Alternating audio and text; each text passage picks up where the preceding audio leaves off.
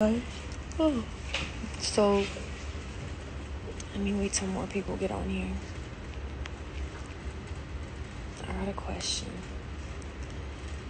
I got a question. So, this is my question I'm about to ask. Hold on. I know I'm going to get more people. I want the most people in here. Hold on one second. Yeah, that's it? I bet. My question is who wants my dog? Who wants him?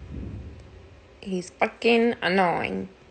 And he's been driving me crazy for the past couple of days.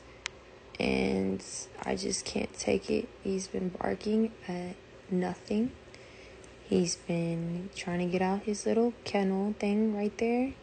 He has just been crazy lately. Like, I don't know what's going on with him. And if y'all know, he's only six months years old. Years old. six months years old. and you know, like I just that that means he's only half of what he can potentially grow to.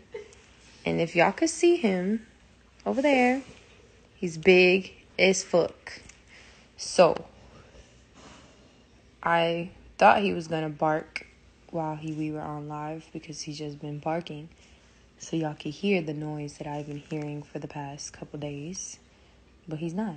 And yes, I have already taken him to training. I need a better trainer, I think. I'm sorry if my training people are watching this.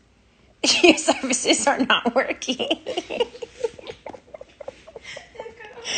Imagine they're watching this. I'm sorry, y'all don't. I didn't put the name out there. They don't know, so it's fine. But yeah, so you know, Roman, Roman, Roman. Hey, and today I got him a bath, so he smells beautiful.